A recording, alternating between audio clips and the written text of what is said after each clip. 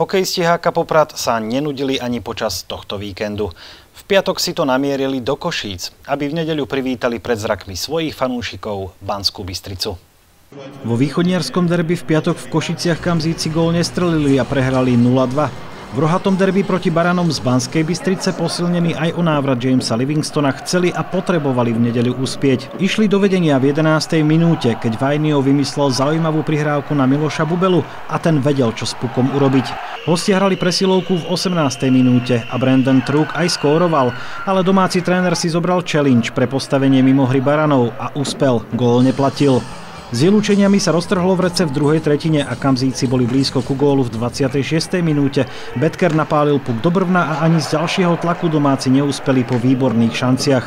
Potešili sa však o minútu neskôr, keď skokan našiel Franksa Razgalsa a ten sa nepomýlil.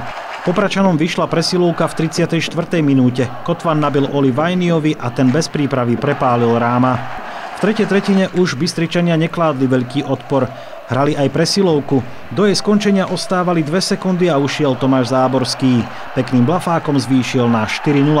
Zápas sa dohrával, ale padol ešte jeden gól. Vypracoval ho Adrián Valigura a šťastným strelcom bol Juka Juhola. Poprad Banská Bystrica 5-0. Mali sme veľké problémy vôbec niečo vymyslieť.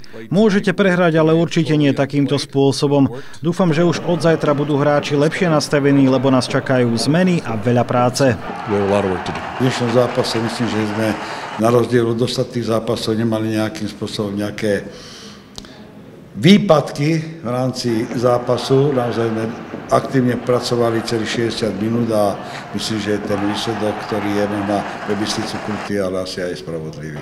V piatok 2. decembra budú hrať popračania v Michalovciach.